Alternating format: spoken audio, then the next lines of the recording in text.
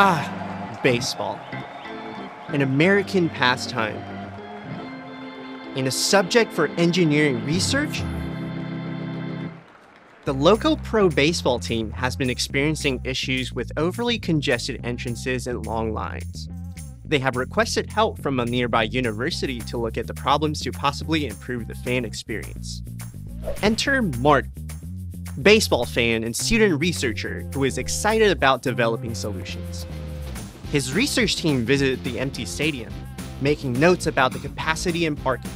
Upon leaving, Marty felt as though something was missing live data.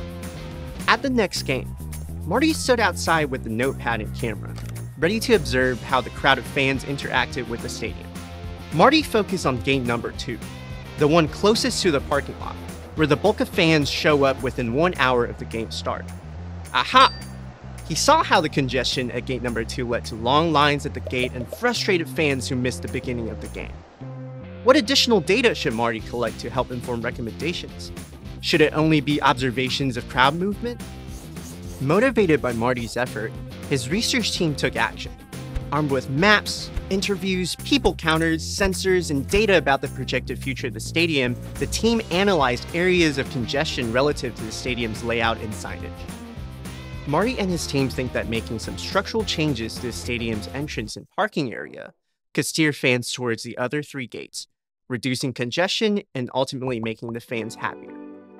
However, those changes might be expensive, so they have to tell their stakeholders a convincing story that shows the problem and the potential solution clearly. As Marty prepares to visually present his research, he needs to think about what data to show and how the data needs to be presented to the audience. Marty might be tempted to show his audience all of his data, but data all mushed together doesn't mean anything and can be difficult to understand.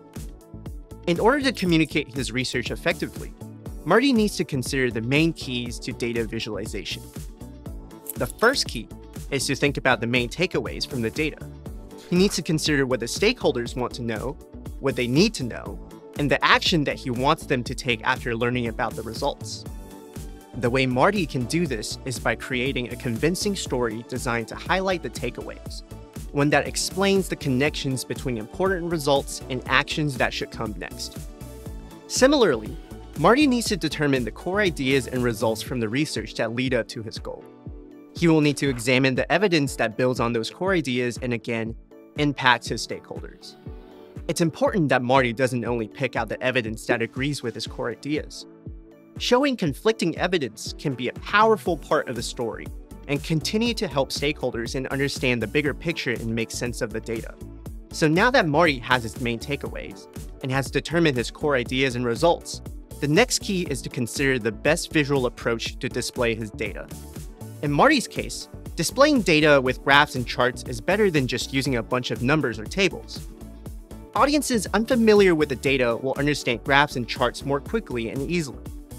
When deciding what graphics will best present the data in context, remember the different graphics have different strengths. Bar graphs are better with comparisons. Line graphs are better at showing data over time. And pie graphs are best for showing parts of a whole. Marty can even use colors, animations, and even different fonts and styles to emphasize or de-emphasize information.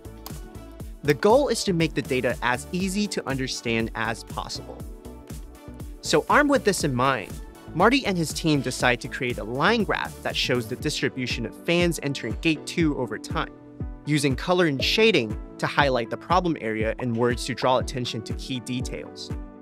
He also uses a bar graph to compare the number of fans entering each gate and several annotated stadium maps to help him show the story of why fans tend to flock toward Gate 2 from the parking area. With these data visualizations, Marty will help his stakeholders navigate his research and see just how important his findings could be. Now, think about your own project. What creative visualizations can you use to present your data in a way that resonates with your stakeholders and audience? Maybe you can use these tools to develop some powerful visuals and hit your next research project out of the park.